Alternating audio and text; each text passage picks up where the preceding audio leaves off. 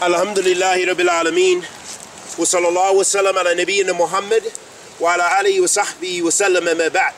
Ayyul ahabba From the types of modesty that Shaykh al-Islam Ibn al-Qayyim mentioned in his discussion about the various types of modesty we reach the fifth uh, aspect or the fifth type of modesty that he mentioned rahimahullah ta'ala. And he said the modesty of embarrassment.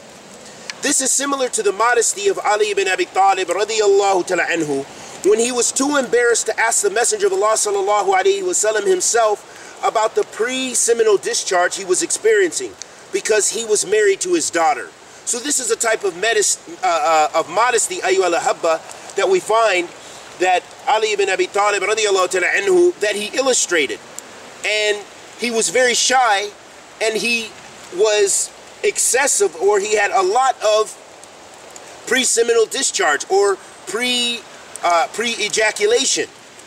And and and due to this that he had a lot of this condition akramakum Allah that he felt shyness because he was married to the daughter of the messenger of Allah sallallahu alaihi wasallam so this was a type of embarrassment and this was a an an, an attribute which uh, the believer possesses and the believer should strive to possess. And may Allah subhanahu wa ta'ala bless us to be of those who have shyness, who have modesty, and who, who, who are embarrassed for the sake of Allah subhanahu wa ta'ala, not for the sake of uh, um, affairs of this dunya, affairs that have no benefit for us. Another, the sixth type of modesty that Ibn al-Qayyim rahimahullah ta'ala mentioned, he said the modesty of low self-worth. He says this is similar to the modesty of the slave in front of his Lord when he asks him for his needs, knowing that he doesn't deserve it. In a narration of Bani Israel, Musa والسلام, said, O Lord, a need or desire of this life arises, and I'm too modest to ask you for it. O Lord, so Allah responded to him by saying, Ask me for whatever you like, whether it is the salt for your dough or the fodder for your herd.